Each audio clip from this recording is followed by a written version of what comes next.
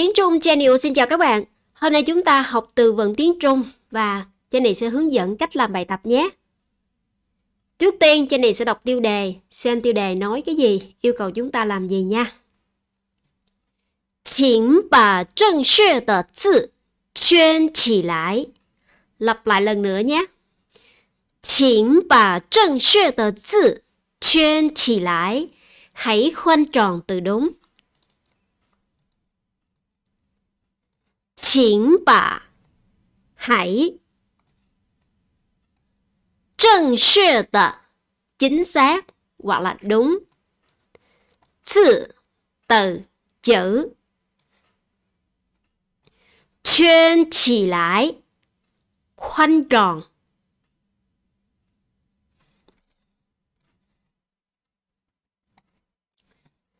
请把正确的字 圈起 lại. Hãy khoanh tròn từ đúng.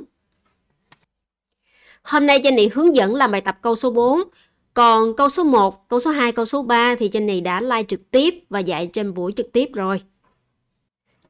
Bây giờ đọc tiêu đề câu số 4. Nì chinh thiên khoai. Chọn từ bên trái hay là từ bên phải. Ma. Nì chinh thiên khoai. Bên trái hay là bên phải?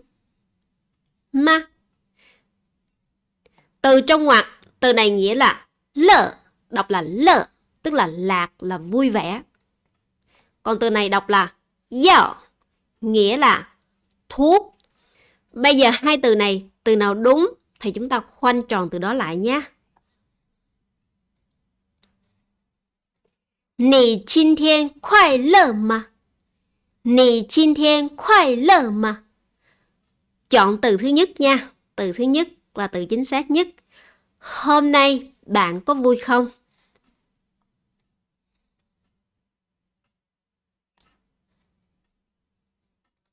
Nì chinh thiên khoai lơ mà. Hôm nay bạn có vui không?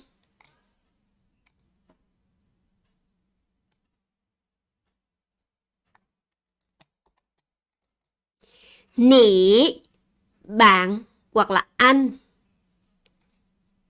Jin thiên, hôm nay. Khoai lợ, vui vẻ, vui. Ma, không. Nì chinh thiên khoai lợ mà. Hôm nay bạn có vui không? Đây là câu hoàn chỉnh cho này đã viết lại một lần nữa. Nì chinh thiên khoai lợ mà. Hôm nay bạn có vui không? Trong câu này không có từ mới, toàn là những từ cũ. Thì bây giờ chúng ta ôn lại thôi nhé. Đó là từ Jin thiên, hôm nay. Và từ khoai lợ, vui vẻ, vui. Bây giờ chúng ta đi phát âm hai từ này nha. Jin thiên, Jin thiên, hôm nay. Thành thứ nhất, thành thứ nhất. Jin 天，今天 hôm nay，快乐快乐 vui hôm nay. Vui vẻ. Thành thứ tư. Thành thứ tư. Khoai lợ. Lợ. Vui vẻ. Nì thiên lợ mà. Nì thiên lợ mà. Hôm nay bạn có vui không? Bài học của trên này đến đây tạm dừng rồi và hẹn gặp lại các bạn trong những bài học tiếp theo nha. Còn bạn nào chưa đăng ký kênh thì hãy nhớ nhấn nút đăng ký kênh để trên này có ra video mới thì các bạn sẽ đón nhận được ngay nhé. Xin thân ái chào tạm biệt các bạn.